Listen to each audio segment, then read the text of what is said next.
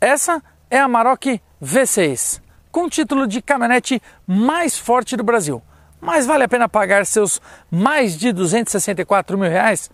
Confira então todos os detalhes de nova Maroc V6 Extreme topo de linha, que recebe ainda um pacote Black Edition e uma nova configuração no motor V6.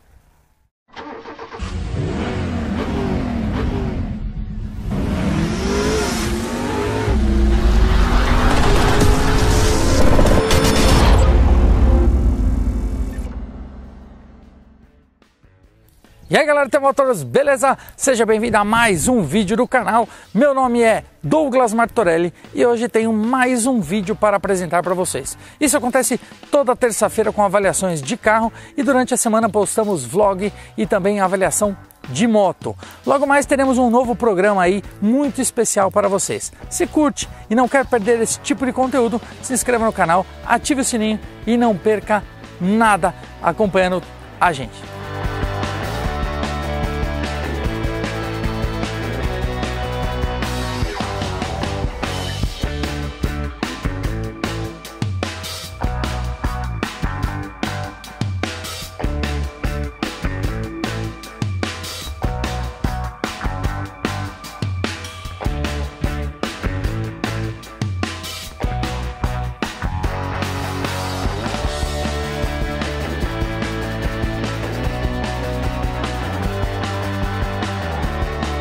E essa bela caminhonete utiliza um motor EA 897 3.0 V6 e 24 válvulas com injeção direta de combustível e turbo diesel. Com este motor, a Amarok era e é a picape mais forte do mercado na anterior produzia aí 225 cavalos, agora produz 258 cavalos a 3.250 RPM, com um torque que antes era 56,1 kg e agora passou para 59,1 kg. São quase 60 kg de torque a somente 1.400 RPM. É um torque que começa bem cedo, fazendo com que ela tenha uma pegada muito boa. Lembrando aí que a Amarok possui um overboost que libera mais 14 cavalos durante durante 10 segundos, chegando então a incríveis 272 cavalos. Este overboost pode ser acionado a cada 5 segundos, então eu acelerei agora.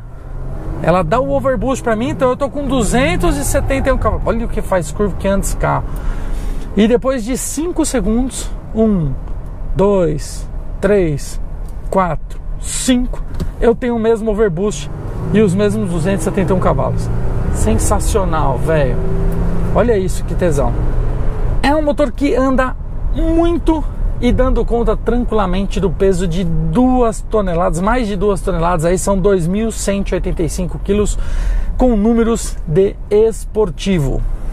Quando a gente fala do câmbio, lembrando que a Amarok utiliza a tração integral 4Motion, que dispensa comentários, na minha opinião, é uma das melhores aí distribuição 4x4 que nós temos na, da categoria. Eu gosto bastante. Tem uns que não gostam muito pro off-road, mas eu fiz o curso off-road do território Maroc lá no Aras Tuiuti e eu me impressionei, não só eu, como algumas pessoas que tinham lá, que era de outras marcas, estavam lá testando e gostaram demais. Bom, bom ela possui também bloqueio diferencial e, e o engraçado é que mesmo se você não é um cara bom de off-road, o carro é. Além de toda esta tecnologia, esse tipo de tração, a Amarok tem 30 graus de ângulo de entrada, 22 graus de ângulo de saída e uma altura livre do solo de 24 centímetros. O câmbio utilizado na Amarok é um automático de 8 marchas e conversor de torque com trocas suaves e também rápidas. Eu gosto bastante do funcionamento deste câmbio também na Amarok. Este conjunto motor e câmbio leva a caminhonete, segundo a fábrica, de 0 a 100 em 7,4 segundos. Lembrando que é tempo bem próximos aí e melhores de hot hatch, como por exemplo o próprio Polo GTS. A velocidade final é de 190 km por hora e o consumo médio não é dos melhores, de 8,4 km por litro. Com relação ao comportamento dinâmico, a Amarok também é uma das caminhonetes que ainda utiliza direção hidráulica, é uma direção um pouco mais pesadinha, não é nada de super leve, mas eu gosto desse mesmo comportamento. A Amarok também utiliza freio a disco nas quatro rodas, suspensão independente na dianteira com braços sobrepostos e eixo rígido na traseira. Mesmo assim, é uma caminhonete super gostosa e na mão e também super estável, com ótima estabilidade, passando poucas imperfeições do piso para dentro do carro. A Amarok ela consegue ter um comportamento muito mais próximo de uma SUV do que de uma picape. É também muito boa no off-road, como eu já salientei do curso que eu fiz e eu me surpreendi. Bom, aqui nós não temos alterações externas, mas com o visual dark que inclui rodas de aro 20 polegadas, para-choque traseiro, grades dianteira, retrovisores também são black piano, os spoilers, estribo, moldura do farol de neblina que inclusive possui a função Corn Light e este pacote Black Edition custa R$ 1.880. Temos também a capota marítima, que é um valor de R$ 1.170, mas indispensável para esse tipo de carro. Sensacional esse pacote completo aqui da Amarok, que deixa um ar muito bonito.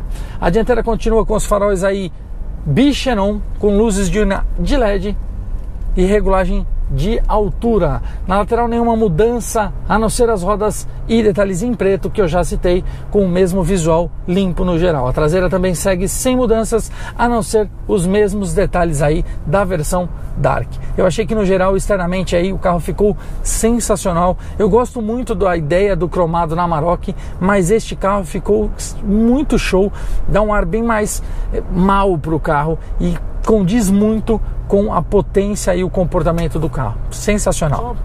O visual continua bem sóbrio, mas no caso desta versão Black Edition, ele segue todo preto também por aqui. Um ar muito legal internamente para a caminhonete. Detalhes em black piano e aço escovado também espalhados pelo painel. Temos um porta-treco na parte superior do painel com uma tomada 12 volts. Também mais abaixo do ar-condicionado, dos botões do ar-condicionado, nós temos mais um porta-treco com uma entrada auxiliar e uma USB, dois porta-copos no console central e apoio de braço com baú. A alavanca do câmbio também tem um bom acabamento, outra tomada 12 volts e um acendedor de cigarro. Não é muito comum, mas a Amarok ainda possui. Os botões laterais aqui de bloqueio diferencial, assistente de descida, né, off-road e também o controle de estabilidade. O painel de instrumentos também segue o padrão da linha Volks, porém o computador de bordo é colorido e bem completo, inclusive com um sistema de monitoramento de pressão dos pneus.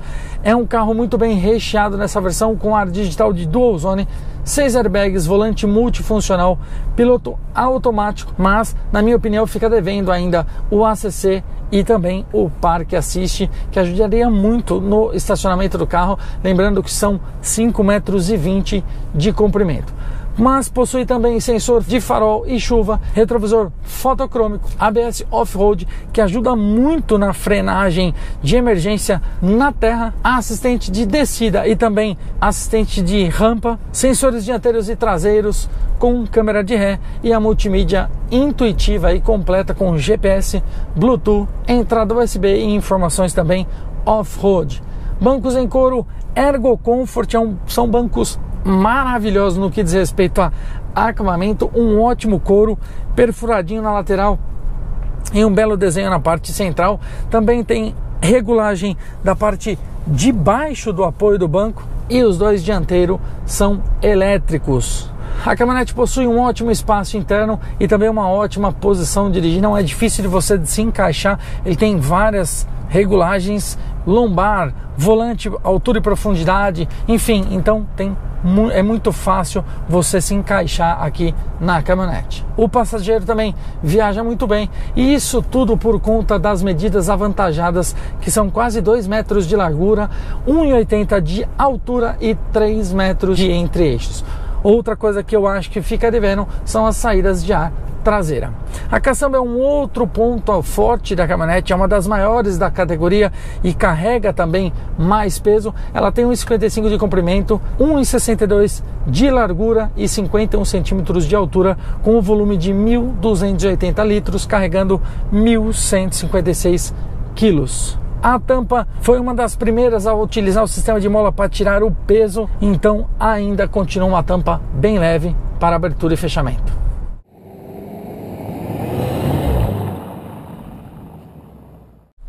Bom, galera, é isso aí, vamos a 100. Lembrando que eu estou com o aparelho ligado na ECU do carro modo esporte, deixa ela fazer tudo sozinho e controle de tração desligado. Não se esqueça de se inscrever no canal, ativar as notificações do sininho lá para não perder nada do nosso conteúdo. E se você curtir e compartilhar o vídeo, você ajuda muito a gente a produzir todo esse conteúdo para vocês, beleza?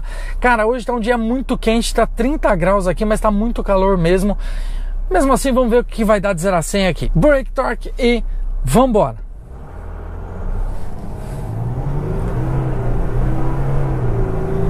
Uma marcha em cima da outra, troca rápida. Bora, Maroc! Isso aí, galera, vieram 7,87 segundos, uma ótima marca abaixo dos 8 segundos.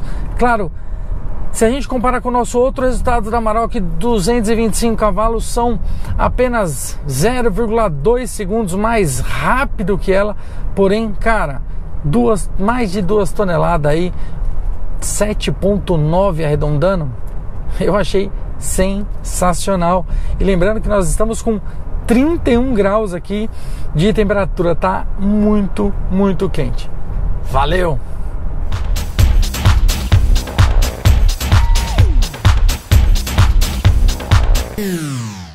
Bom, a conclusão não poderia ser diferente. É claro que eu teria. A Amarok ganhou essa força extra no motor, ficou ainda mais forte do que as concorrentes. É claro que nós estamos falando do motor 6 cilindros e não de, dos, dos 4 cilindros que as concorrentes oferecem. E eu acho que só ficou devendo realmente por valer mais de 260 mil reais o ACC, o assistente de faixa, a frenagem autônoma aí que a própria Hilux oferece. Mas em contrapartida, a estabilidade, o comportamento dinâmico da Amarok é sensacional. Faz curva como carro normal, não como caminhonete. Inclusive, perto de alguns carros aí que se dizem bons de curva, ela faz e anda muito bem. Números próximos aí, até melhores do que do próprio Polo GTS, que é o esportivo da marca, né? Além do, do GLI, mas o GLI é outra coisa também.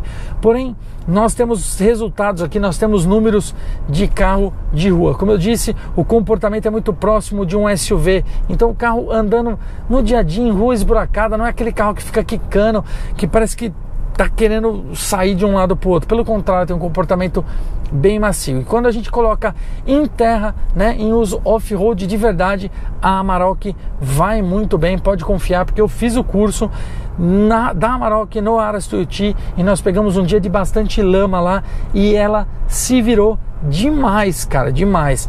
Eu mesmo no dia falei, caramba, pneu misto, será que vai? E ela foi com pneu misto sem fazer força. E nós estávamos com a de 225 cavalos, não com a de 258. Então, para mim, o carro é sensacional em todos os sentidos. Motor forte, uma baita de uma segurança quando diz, quando diz respeito à altura, a, a, porte, tem um baita de um comportamento dinâmico em teste de alce, em curva, freia bem pra caramba, são freia disco nas quatro rodas, também diferente de alguns dos seus concorrentes, oferece freia disco na dianteira, então ela, ela dá ah, tirou algumas coisinhas, mas dá muito mais no resto. É claro que eu teria, gosto demais da Maroc e seria a minha opção de caminhonete. Eu não gosto muito de falar isso não, porque às vezes a gente acha que, a galera acha que a matéria está vendida, não é. Eu já andei em todas as caminhonetes, galera. Então, na minha opinião, aí se for para, se fosse para escolher hoje, eu escolheria a Maroc de 258 cavalos, com certeza. Queria agradecer muito ao André da Germânica Barão Geraldo aqui de Campinas, cara, muito legal pessoal lá, venha conhecer, venha dar uma volta na caminhonete. Se você está atrás de uma caminhonete, se você também não está atrás de uma caminhonete, mas tem curiosidade, a Maroc está aqui para você fazer um test drive, para você andar. A Volkswagen nem chama de test drive, né? Chama de best drive, ou seja, a sensação de dirigir o carro é muito bom, boa mesmo. É, é um carro que um ótimo comportamento na aceleração em curva. Se você vier dirigir, você vai assinar embaixo do que eu estou falando. Drezão, muito obrigado. Galera, telefone, endereço e site da Barão Geraldo, da Germânica de Barão Geraldo, está passando para vocês aí. Muito obrigado novamente, André. agradecido demais. Essa parceria é sensacional para a gente, para eu conseguir postar todo esse conteúdo para os meus inscritos e também não inscritos que estão aqui entrando, olhando a avaliação para saber o que mais uma pessoa diz do carro. Sensacional, muito obrigado. Eu queria agradecer a todas as pessoas que assistiram o vídeo até aqui, que não esqueçam de curtir, compartilhar o vídeo, que isso ajuda demais a gente continuar produzindo todo esse conteúdo para vocês. E se gosta bastante desse conteúdo, se inscreva no canal e ative o sininho para o YouTube postar aí, impulsionar esse vídeo para você, beleza? Nós postamos avaliação de carro toda terça-feira e de quinta nós postamos avaliação de moto ou os vlog que a gente está fazendo e temos um projeto aí de programa para o canal provavelmente pode ser que até esteja já no ar esse programa. Se não tiver, fique ligado que vocês não podem perder. O programa vai ser bem legal, falando um assunto bem amplo com relação à moto e também a carro. Lançamentos, porque saiu de linha, é, carros ícones, motos ícones, enfim, vai ser bem recheado o conteúdo do, do programa, beleza?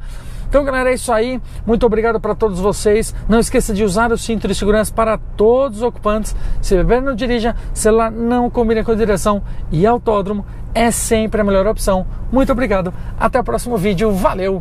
Fui!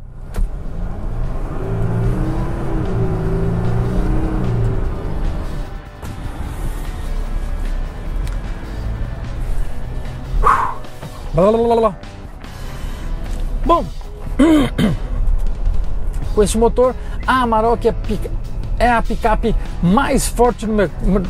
Com este motor, a Amarok era e é a picape mais forte do, mercado. do mercado.